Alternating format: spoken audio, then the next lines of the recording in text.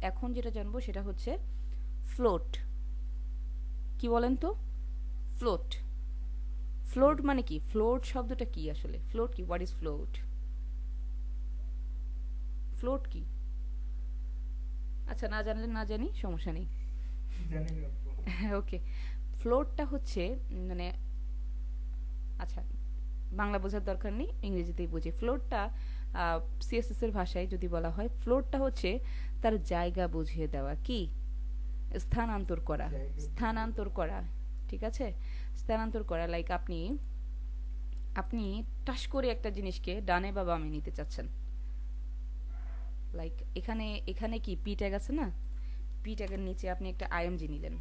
P ট্যাগের নিচে আপনি একটা আইএমজি নিলেন। নিয়ে আবারও একটা ইমেজ অ্যাড করলেন। আমি সেভ করি। আচ্ছা এখানে আমাদের যেহেতু সিএসএস করা আছে এগুলো বাদ দিয়ে দিই। শুধুমাত্র ফ্লোটটা বোঝার জন্য। সিএসএসগুলো বাদ দিয়েছি। এখন দেখেন কি অবস্থায় আসছে? প্রথমে পি ট্যাগ তার কাজ শেষ করেছে তার জায়গা নিয়েছে। নিয়ে তারপর নিচে কি আসছে? ইমেজটা তাই না? পি ট্যাগ নিয়েছি তারপর ইমেজটা আসছে। বাট আমি যদি মানে এরকম চাই যে না কি হবে? ইমেজটা কোথায় থাকবে? ডান পাশে থাকবে। ইমেজ কোথায় থাকবে? ডান পাশে থাকবে। তাহলে সেটা কীভাবে করব? ফ্লোট দিয়ে। তো আইএমজি একটা নিব। আইএমজি একটা নিয়ে মানে আইএমজির কার মধ্যে আসছে? ডট বক্সের মধ্যে আইএমজি এবং এটাকে কি বলব? Float right okay float right দিলাম। এটাকে সেভ করি। এইচটিএমএলটাকেও সেভ করি। এখন যদি আমরা রিলোড দিই রাইটে আসছে তাই না? এটা তো রাইটে আসছে।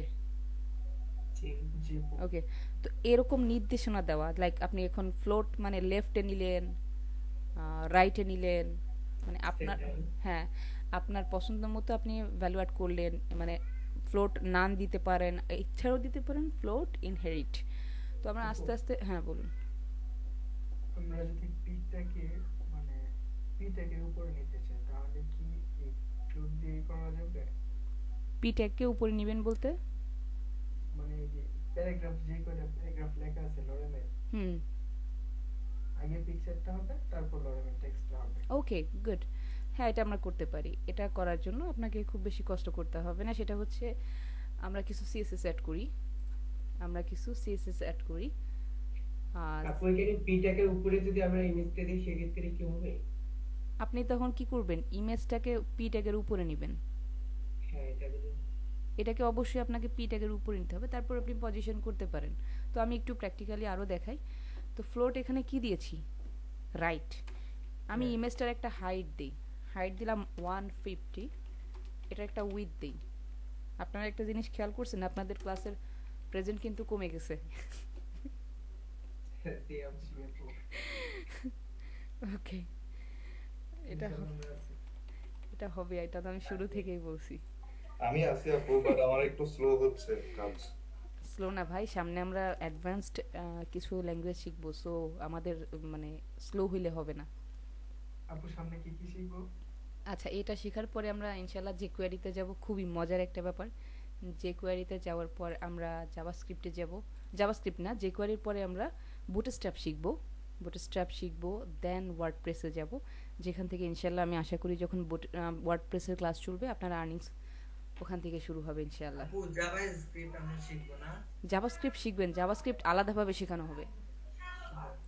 সেটা জাভাস্ক্রিপ্ট তো বিশদ একটা ব্যাপার হ্যাঁ? আর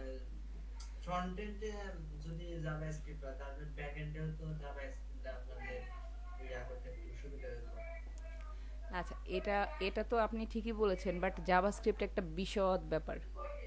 ঠিক আছে? তা তো কষ্ট না করলে তো হবে না হ্যাঁ। আচ্ছা একটু মিউট করেন শব্দ হচ্ছে। আচ্ছা দেখেন। এখন আমি দেখেন ইমেজটাকে একটা হাইট উইথ দিয়েছি। তো সে কি করছে? নিজের জায়গাটা মানে একেবারে কর্নারে নিয়ে আসছে। বাট আমি চাচ্ছি সে এইখানে থাকুক। ঠিক আছে? আমি চাচ্ছি সে এখানে না না পজিশনের কোনো দরকার নেই। আমি আগেই বলছি পজিশন যত কম ইউজ করবেন তত আপনার জন্য শান্তি। তো দেখেন আমি কি চাচ্ছি? এইখানে ইমেজটা আনতে মানে এক পাশে পি থাকবে এক পাশে ইমেজ থাকবে। হ্যাঁ। তো এটা আমরা কীভাবে করব?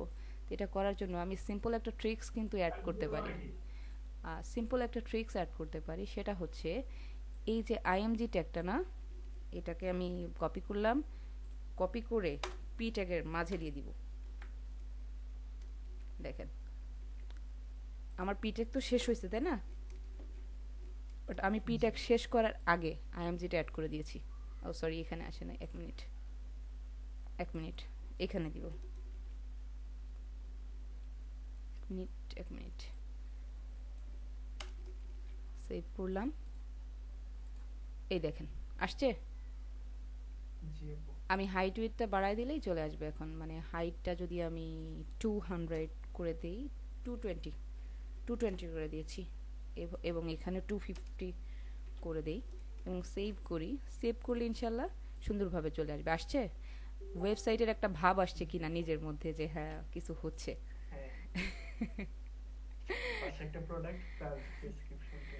এক্স্যাক্টলি তো আমরা ইনশাল্লাহ এখন এরকমই একটা প্রজেক্ট দেখব। আমরা কিন্তু অনেক অনেক কিছু শিখে ফেলছি। অনেক কিছু। তো এখনই একটা ওয়েবসাইটে একটু তো শুরুতে লাগবেই। সো এখন কিন্তু একটু ভালো লাগার মতো একটা কাজ করতেছে না যে হ্যাঁ মোটামুটি একটা পজিশনে আসছে একটু কাজ করা যায়। তো এখন এই ইনশাল্লাহ ইনশাল্লাহ এটা থাকবে। সো এটাকে চাইলে আমরা এখন কি করতে পারি? ফ্লোট লেফটও করতে পারি। এটাকে সেভ করি। এই দেখেন আসছে?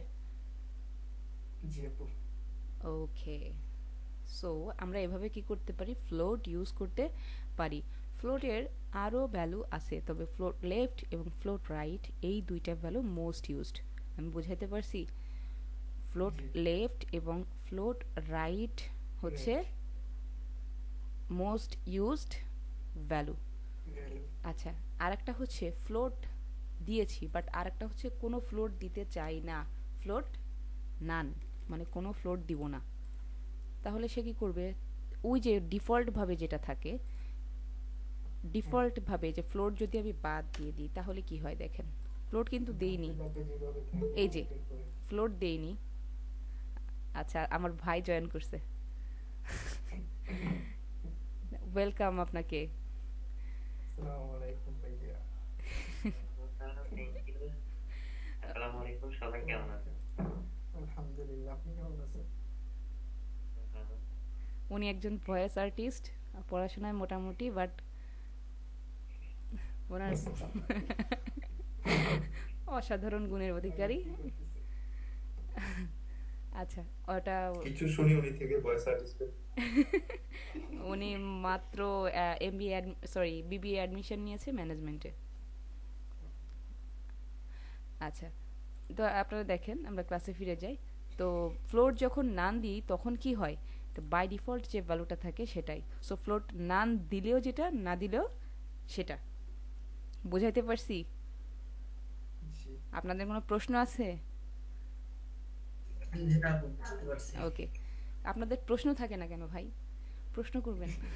আমরা অল্পতে বেশি বুঝে ফেলে কিন্তু করতে গেলে আসলে পড়াশোনা খুব কোশ্চেন বেশি আসে? যখন নিজে নিজে করতে যেতাম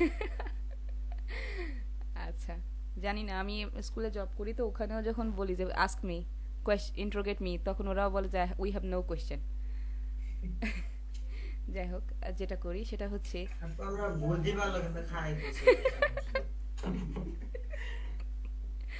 ওকে যাই হোক তো দেখেন আমরা কি ফ্লোরটা বুঝতে পারলাম কিনা? তাহলে ফ্লোটের পার্টটা আমি একটু আলাদা রাখব। বুঝতে পারছেন কিনা? কনফার্ম মি জি ওকে থ্যাংক ইউ